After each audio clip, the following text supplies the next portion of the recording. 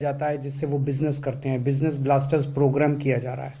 और ढेरों बच्चे जो हैं, वो अलग अलग अलग अलग छोटे छोटे बिज़नेस करना चालू कर रहे हैं। यही बिज़नेस ब्लास्टर्स प्रोग्राम यही आंट्रप्रनरशिप क्लासेस अब कॉलेजेस के अंदर भी शुरू की जाएँगी। और कॉलेजेस के अंदर भी बच्चों को डिग्री लेने के बाद नौकरी ढूँढने के बजाय अपना बिज़नेस करने के लिए उन्हें तैयार किया जाएगा, मानसिक तौर पे तैयार किया जाएगा, और कॉलेज में पढ़ते पढ़ते भी वो इस दिशा के अंदर अपने छोटे छोटे बिज़नेस आइडियाज़ को तैयार करना शुरू करेंगे। उसके लिए उन्हें पूरी सहायता दी जाएगी। आज खुशी की बात यह है कि दिल्ली की कैबिनेट ने दिल्ली स्टार्टअप पॉलिसी पास की है। दिल्ली स्टार्टअप पॉलिसी ये जो हमने बनाई है ये दुनिया भर की जो स्टार्टअप पॉलिसीज़ है, उन सबको इकट्ठा करके, उनके जितने भी अच्छे पॉइंट्स थे, वो सारे अच्छे पॉइंट्स इसके अंदर हमने डाले हैं। कि अगर दिल्ली के रहने वाले युवा दिल्ली के अंदर कोई बिज़नेस चालू करना चाहते हैं तो उनको दिल्ली सरकार पूरी तरह से मदद करेगी हैंड होल्डिंग करेगी, उनको पैसे से भी मदद करेगी, और पैसे के अलावा भी कई तरह से मदद करेगी। पैसे से मदद करने में कई सारे चीज़ें हैं जैसे मान लीजिए वो किराए पे कोई जगह लेते हैं तो उसका आधा किराया तक दिल्ली सरकार दे सकती है उसको आ, उसके किराए में मदद कर सकती है। जो वो तनख्वाहें देगा अपने एम्प्लॉयज़ को उन तनख्वाहों के अंदर कुछ कुछ पोर्शन फाइनेंशियल उसकी मदद कर सकती है। वो अगर पेटेंट के लिए ट्रेडमार्क के लिए कॉपीराइट के लिए अप्लाई करता है तो जो उसकी फ़ीस लगती है वो वापस कर सकते हैं। उसके जो इंटरनेट चार्जेस आते हैं, उसके अंदर दिल्ली सरकार मदद कर सकती है। दिल्ली के अंदर इंक्यूबेशन सेंटर्स लगाने के लिए फैब्रिकेशन लैब्स लगाने के लिए, ऐसे सेंटर्स जहाँ पे कि बच्चे जाके अपना स्टार्टअप शुरू कर सके, उनको इंक्यूबेशन सेंटर कहते हैं। ऐसे सेंटर जो लोग स्थापित करेंगे, उनको तरह तरह से वित्तीय सहायता देंगे। बिना गारंटी के कोलेट्रल फ्री लोन दिलाने में दिल्ली सहायता मदद करेगी और एक साल के लिए इंटरेस्ट फ्री लोन होंगे। इस तरह की ढेर सारी वित्तीय सहायता दिल्ली सरकार देगी। लेकिन इससे ज़्यादा बड़ी बात है, एक बच्चा, एक नौजवान युवा जब अपना नया बिज़नेस शुरू करना चाहता है तो वो 10 परसेंट टाइम तो अपने बिज़नेस पे देता है और 90 परसेंट टाइम वो इस पे देता है, मेरे को जीएसटी के लिए अप्लाई करना है इनकम टैक्स डिपार्टमेंट जाना है, ये सरकारी विभाग में जाना है, मेरे को ये कानून 90 परसेंट टाइम वो इन चीज़ों के अंदर बिज़ी रहता है। हमने ये तय किया और ये एक तरह से एक नई तरह की शुरुआत हो रही है कि हम ढेर सारी एजेंसीज को, प्रोफेशनल्स को हायर करेंगे, पैनल बना देंगे उनका। जैसे उसमें चार्टर्ड अकाउंटेंट्स का पैनल, लॉयर्स का पैनल, एक्सपर्ट्स का पैनल। उनमें से किसी के भी पास एक स्टार्टअप वाला बंदा जाके और उस, उनकी मदद ले सकता है। और वो मदद बिल्कुल फ्री होगी। मान लीजिए हमने एक पैनल बनाया चार्टर्ड अकाउंटेंट्स का।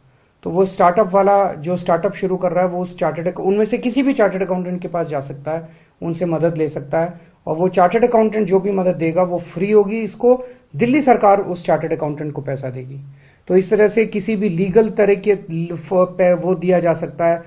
स्टार्टअप करने वालों को मार्केटिंग करने में मदद दी जाएगी, सोशल मीडिया में मदद दी जाएगी, पेटेंट या ट्रेडमार्क कैसे फ़ाइल करने हैं उसमें मदद दी जाएगी जीएसटी कैसे भरना है उसमें मदद दी जाएगी इन्वेस्टर्स ढूँढने के लिए मदद की जाएगी लोन लेने के लिए मदद की जाएगी अलग अलग सरकारी विभागों से कैसे अप्रूवल लेनी है, इन सारी चीज़ों में, ढेर सारी चीज़ों में स्टार्टअप करने वाले युवा को दिल्ली सरकार फ्री में प्रोफेशनल और अलग अलग तरह की एक्सपर्ट मदद प्रोवाइड करेगी।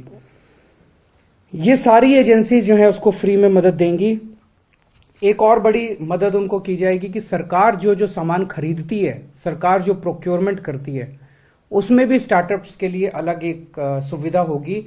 उसमें नॉर्मली जैसे प्रोक्योरमेंट करते हैं हम कोई सामान का तो हम कहते हैं इतने साल का एक्सपीरियंस होना चाहिए इतने साल पुरानी कंपनी होनी चाहिए। इन सब चीज़ों में स्टार्टअप के लिए हम ढिलाई कर देंगे ताकि जो मा, माल के अंदर कोई कॉम्प्रोमाइज नहीं होगा माल की क्वालिटी में कोई कॉम्प्रोमाइज नहीं होगा लेकिन उसके अंदर हम उनको मदद करेंगे। तो और जो बच्चे कॉलेज में पढ़ रहे हैं दिल्ली सरकार के कॉलेज में कोई बच्चा पढ़ रहा है और वो कोई स्टार्टअप करना चाहता है और पढ़ते पढ़ते उसने कोई प्रोडक्ट बनाया तो सरकार उसको अपनी पढ़ाई में दो साल तक की छुट्टी भी देने के लिए तैयार है। कि वो दो साल की छुट्टी ले ले, अपना तैयारी प्रोडक्ट वगैरह पे लग जाए, वापस आके अपना कोर्स पूरा करके अपनी डिग्री ले जाए। तो उस पढ़ते पढ़ते कॉलेज के बच्चों को भी एक से दो साल तक की छुट्टी लेने की इजाज़त दी जाएगी। इसका प्रोसीजर ये होगा कि एक टास्क फोर्स बनाई जा रही है। बीस लोगों की टास्क फोर्स उसमें बीस, उसमें एक केवल गवर्नमेंट ऑफिसर होगा उसमें थोड़े से लोग एकेडमिक्स के होंगे, दस परसेंट और पचासी परसेंट लोग प्राइवेट इंडस्ट्री के लोग होंगे बिज़नेस के लोग होंगे।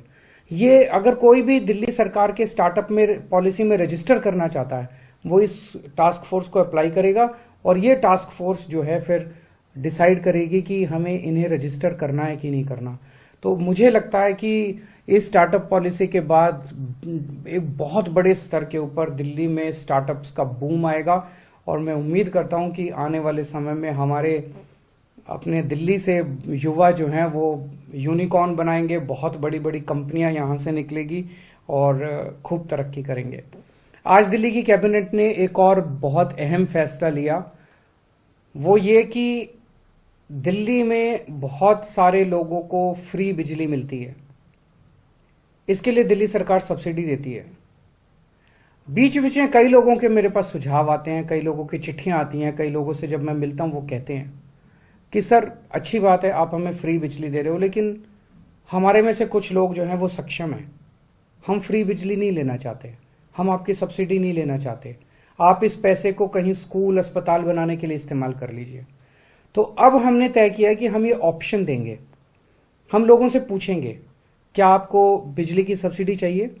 अगर वो कहेगा हाँ चाहिए। तो हम उनको देंगे। अगर वो कहेगा नहीं चाहिए तो हम उनको नहीं देंगे। तो ये लोगों से पूछने का काम जल्दी शुरू होगा और एक अक्टूबर से दिल्ली के अंदर उन्हीं लोगों को बिजली की सब्सिडी दी जाएगी, जिन लोग जो लोग बिजली की सब्सिडी मांगेंगे। बहुत बहुत शुक्रिया।